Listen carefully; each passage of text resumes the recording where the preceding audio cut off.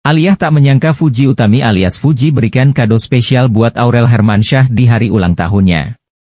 Seperti yang kita ketahui artis Fuji Anti Utami atau Fuji juga ikut memberikan hadiah ulang tahun untuk Aurel Hermansyah.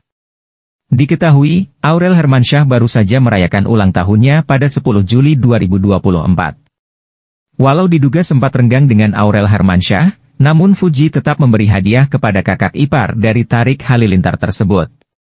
Happy birthday ke Aurel Aureli, Hermansyah, komentar Fuji. Selain dihadiahi tas puluhan juta dari Alia, rupanya Aurel memamerkan pula kado dari Fuji.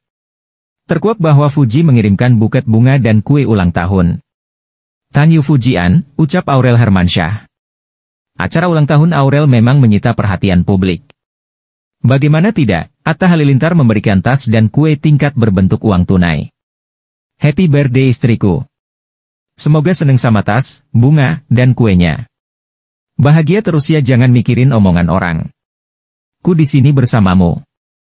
Tahun ini mentahnya aja ya. Kalau beli barang takut ada goreng duaan lagi bisa buat sedekah juga hadiahnya, sehat selalu, pungkasnya. Artis Atta Halilintar merasa takut saat memberi kado ultah ke istrinya, Aurel Hermansyah. Alhasil, Atta hanya memberikan kue dan uang ke Aurel. Diketahui, Aurel Hermansyah baru saja berulang tahun ke-26 pada Selasa, 9 Juli 2024. Atta Halilintar pun memberikan kejutan untuk sang istri yang sedang berulang tahun. Tak seperti biasanya, Atta Halilintar memberikan hadiah kue tingkat, buket bunga, dan tas namun berbentuk uang tunai. Bukan tanpa alasan, Atta Halilintar sengaja menghadiahi Aurel Hermansyah uang tunai agar bisa untuk bersedekah. Happy birthday istriku!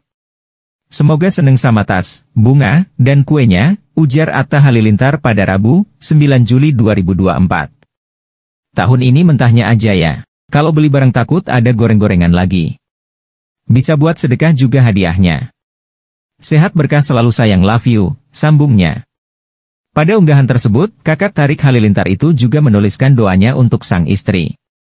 Ia berharap Aurel lebih bahagia dan tak perlu mendengarkan hinaan netizen. Bahagia terus ya jangan mikirin omongan orang.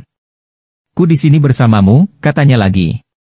Lantas, para rekan artis juga ikut menyelamati ibu anak satu tersebut, selain itu keluarga Fujianti Utami Putri alias Fuji kembali disorot berkat kesuksesan mereka. Terbaru, kakak kedua Fuji yakni Franz Faisal memamerkan rumah yang baru dibeli. Setelah Fuji dan Fadli Faisal, giliran Franz Faisal yang akhirnya berhasil membeli mewah. Putra kedua Haji Faisal dan Dewi Zuriati itu membeli rumah bergaya modern klasik dari hasil kerjanya.